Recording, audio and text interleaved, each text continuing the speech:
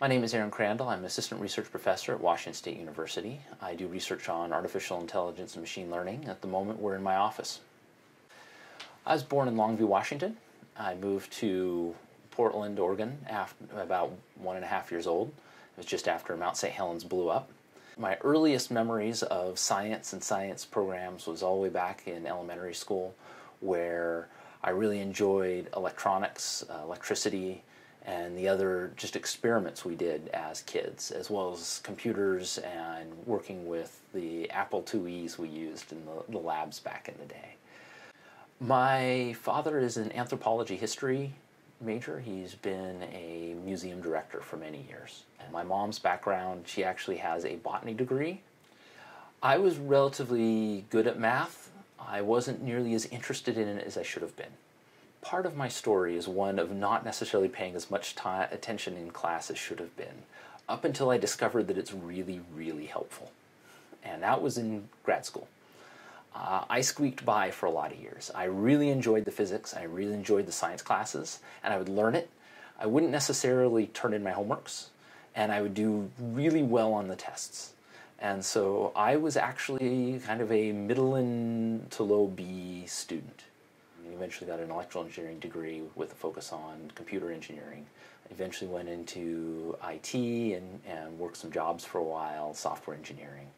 But then got really enthusiastic about artificial intelligence and machine learning while at Oregon Health and Science University and pursued a master's degree in, in the area. I wanted to make computers do more than their what are considered basic operations. It's not just coding, it's getting it to think and then what do you get it to think about and get it to do? So, on a day to day basis, my work really does have to do with deploying the technology as well as being the go to person when the researchers have questions about how they're going to use the data and the, and the platform to drive their research. And so I get involved in their research from the how does it work, what does the data really tell us, what can we deploy or not deploy to help the, the latest models operate. The thing is, that actually goes to the loco. The biggest goal for this project is to bring new tools into our community to help people live well. How that manifests itself has a variety of different pieces. Classically, in our group, has been the aging in place with cognitive decline how can we help people preserve their functionality effectively with the technology as a cognitive prosthetic so that it understands what they're doing and assists them to help fill in the things that they're having more trouble with.